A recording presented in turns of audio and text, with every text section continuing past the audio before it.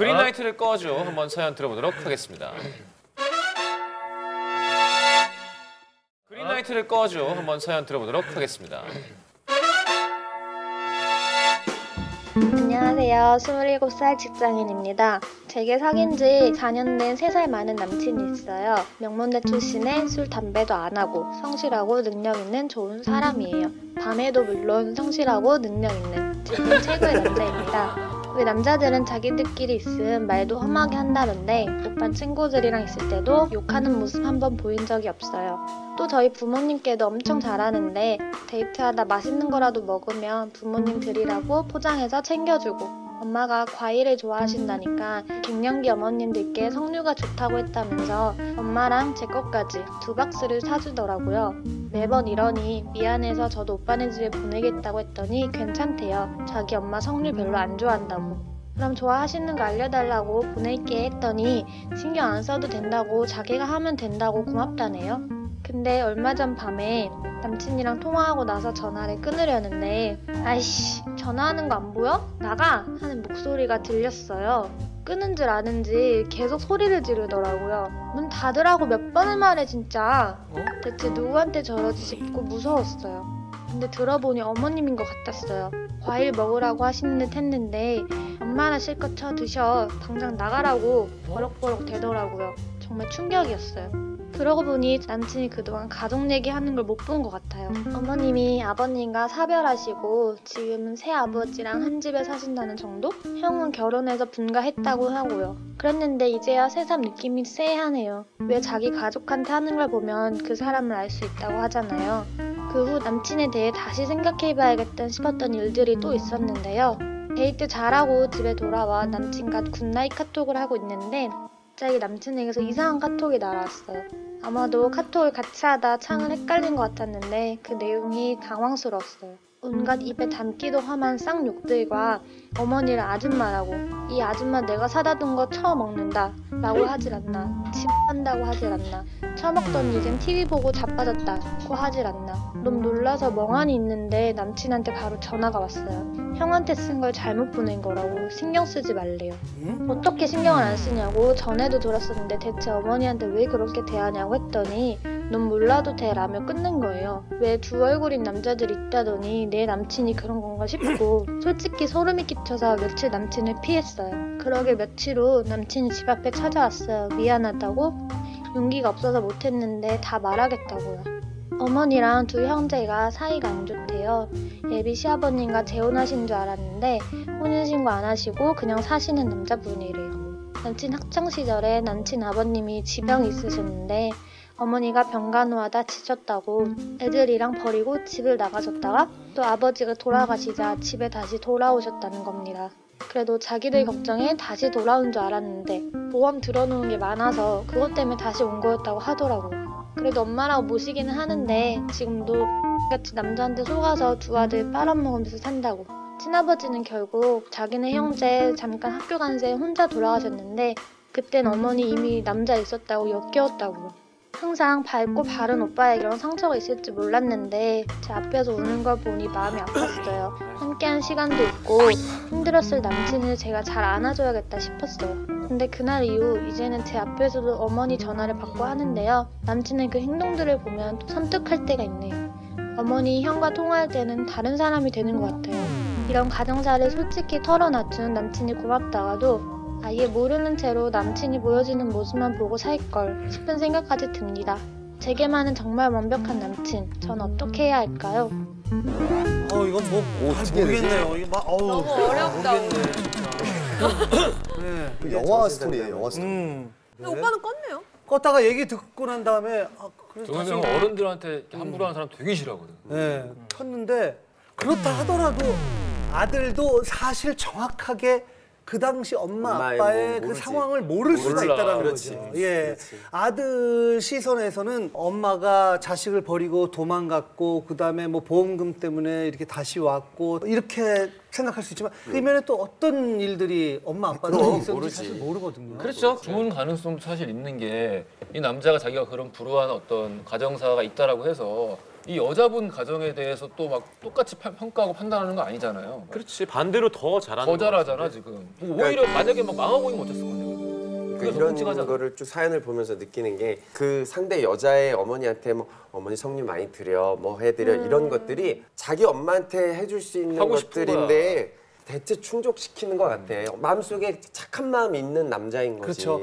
음 글쎄 유세윤 씨는 껐는데요 이 남자 나름대로의 어머니에 대한 사랑의 또 다른 방식이라면 이 표현이 되게 위험한 표현인 것 같거든요. 이게 결혼 생활에 와이프한테 아내한테도 난 연결될 수 있지 않을까라는 생각이 사실 저도 그 부분을 생각했어요. 그러니까 아내에게로 투사될 우려가 있기 때문에 좀 걱정스럽긴 한데 그치만 가능성이 되게 4년이나 높을 것 지켜봤잖아요. 이 사람은 엄마와의 문제만 해결되면 거의 다른 분야에서는 문제를 일으키지 않는 사람이니까 큰 문제가 없었다면 어쩌면 이 남자를 믿어줘도 되는 것이 아닌가 하는 생각도 들어요. 신혜성 씨는 저도 계속 지금 껐다 켰다 껐다 그랬는데 켰다 해요. 예. 이 여자분의 비하면 이제 4년간 정말 다정한 사람이었다라고 얘기하는 거 봐서는 진짜 이 남자분은 좀, 좀 바르게 자란 분. 근데 그렇다면 조금 이런 표현들을 조금은 적게 하던가 아니면 정말 너무 밉고 너무 싫다면 좀 최대한 피할 수 있는 방법을 좀 찾아서 하는 게 좋을 것 같은데 아 이게 좀 너무 애매한 것 같은데 저 같은 경우에도 4년을 만났으면 이 사람의 충격적인 과거를 알게 되면 하늘이 무너지죠. 아, 얼마나 힘들었을까 어떻게 하지? 음. 그럼 뭐 어떻게, 어떻게 하겠어요? 당연히 그러면 같이 알아가면서 그거가 그치. 무엇이고 어떻게 하면 내가 뭘 해줄 수 있고 일로 고민이 가지 않겠어요? 상처를 감싸주고 우리가 행복할 수 있을까를 고민하는 게 답인 것 같아서 저는 끄진 못하겠어요. 그래, 저도 뭐 껐는데 다시 어, 켜게 돼요. 아니 근데 이거랑은 좀 이 사연하고는 좀 다르지만 여자분인데 진짜 막 욕을 막 심하게 한다거나 뭐 여자가요? 여자분 어, 여자가, 여자가. 이런 거 알게 되면 우리가 좀 깜짝깜짝 놀라는 놀라지. 경우가 있잖아요. 저 예전에 기사 난 거 못 보셨어요? 인터뷰했는데 결혼할 여자 뭐 얘기하다가 여자 담배 피는 거 어떻게 생각하냐 그래서 아니 기호 식품이니까 뭐 임신 중이 아니면 안 피면 좋죠 건강에 안 좋으니까 욕하는 여자 어떤 여자 그러니까 여- 욕을 하는 게 좀 걸린다고 싫다고 그랬는데 결혼할 여자 담배는 오케이 욕설은 no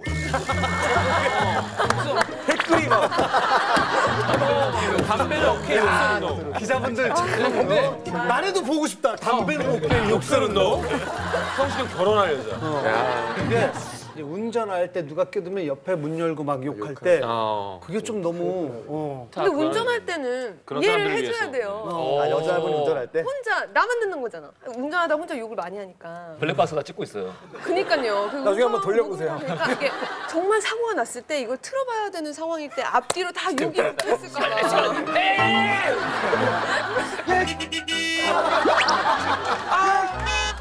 내가 탐보들 알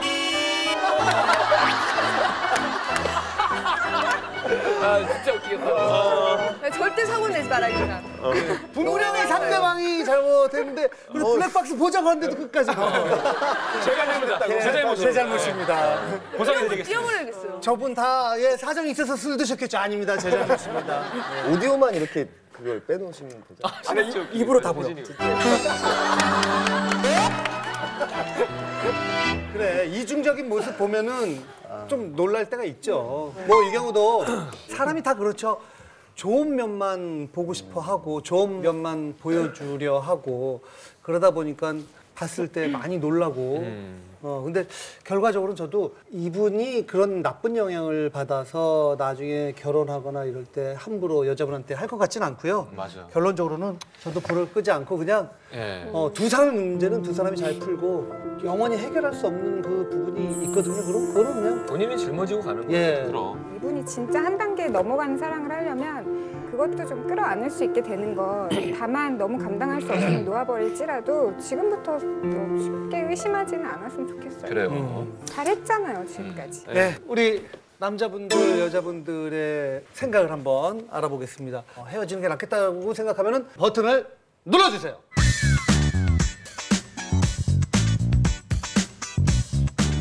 참 잘하는 것 같아 동엽이. 그러니까 나 바로 옆에서 들으니까 막 허참 선생님처럼 약간 이렇게 몇 대?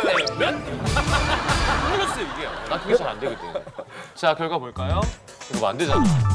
너야. 자 그럼에도 불구하고 여자 네 명은 헤어져야 된다. 극소수네요, 그건. 정말 충격적이다. 두 명 정도만. 최저네요, 최저 역대. 아, 자, 그나저나 저희 방청객 중에 저희 제주도에서 사연 기억나세요? 여자 마피아 그래 맞아. 따님을. 만나서 그분이? 오셨어요? 영국. 웃고 계신다. 아, 저 마이크 그쪽에 들고. 계신 분이구나. 어? 야 인상 진짜. 아 그래서 오늘따라 외국 사람 몇 명이 서성서성한. 아, 방송국 앞에. 예, 예. 그 선글라스 낀 사람들. 아이 농담이고요. 그래서 회방 놓은 그 브라질리안이랑 어떻게 됐어요? 아, 걔도 이제 자기 나라 돌아갔고요. 저는 이제 3월에 마지막에 금요일에 애들이랑 같이 놀고 있었는데 어떻게 걔가 알고 와서 번호 알려달라고 한국 오겠다 이렇게 얘기하길래 아무 번호나 찍어주고 그냥 한국 목소리 돌아왔는데 떨리는 거 들었어요? 근데 그러고 나서 그거 하나 못 알아낼 것 같아요? 마피아가? 아 그래서 핸드폰이 깨졌어서 바꿨거든요. 네. 번호도 이제 바꿨는데 없으니까 이제 페이스북으로 왜 너 얘기 없냐고 연락 왜 안 하냐고 그렇게 메시지 오고 그래서 그것까지 씹었더니 이제 다음에는 다른 계정을 만들어서 또 친구 추가를 걸었는데 야, 마성의 그건 안 남자네. 받고 대박이다. 걔는 남자친구 이제 4월 중순에 생겨서 흐지부지 됐어요. 정말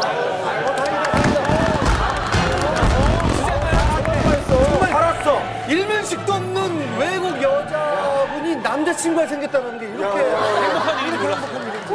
어찌나 다행인지. 지금은 솔로세요? 아 저 안 그래도 물어보고 싶은 게 있었는데 오. 예, 학교 같은 과 동기가 그 옆에서 잘 챙겨주고 그래서 호감을 가졌었어요. 네. 호감 가져서 이제 성시경 씨 티켓도 이번에 DM에 하고 야, 그렇게 했는데 그 예매 전쟁을 이겨냈단 말이에요. 예 5일 밤샜어요. 어, 같이 보러 했는데 이제 걔가 그렇게 잘 챙겨줘서 관심이 있다는 식으로 얘기를 하니까 아, 선후배? 이상은 아니었으면 좋겠다고 선을 그어서 음. 좀그 그린라이트를 다시 돌릴 수 있는 방법이 있을까 어, 계속 어떡해. 지금 이제 성시경 형님의 공연에 가니까 뭐좀 도와주시면 안 돼요라는 어. 약간 그런 도와줘요. 느낌이 있는 것 같은데. 괜히 아니, 도와줬다가 나까지 마피아는 거. 아, 이게 크거든요 무대에서 이렇게 딱 무대에서 팡. 네가 없는 거리. 아, 그러지 마요. 자, 신혜성 씨. 네. 네, 어떠셨어요? 네, 너무 즐거웠고요. 이게 좀 멤버 없이 좀 이렇게 예능 혼자 나온 게 오랜만이었어요. 네. 좀 걱정을 좀 했었는데 또 너무 재밌게 잘 해주셔서 너무 즐겁게 나가는 것 같습니다. 네. 아, 좋았어요. 다음에 올 때는 에릭 씨하고 같이 오세요. 멤버들 다 그럴까요? 같이 나오시면 좋아하는 원년 멤버로서. 자료 막 갖고 오는 거 아니야? 오빠 사인도 좀. 자, 별다른 일 없으면 다음 주 금요일 밤 10시 55분에 찾아뵙겠습니다. 감사합니다. 안녕.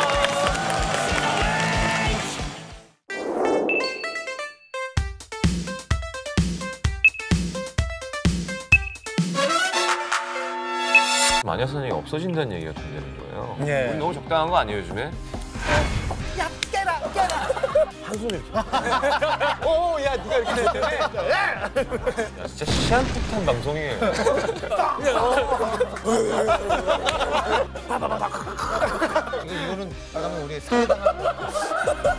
아, 저는 되게 순수한데 순진하진 않아요. 어. 쳤어요. 오, 남자가? 네. 아, 생각보다 작네? 남자를 뒤집은 건데요. 그 체위는 사라진 지 오래됐다. 너는 안 까고 작아 보인다고. 뭐? 야, 말이 되냐, 이게. 근데 왜 저 부분은 왜 이렇게 앞발게 드세요? 귀가 조금 커지긴 했어요.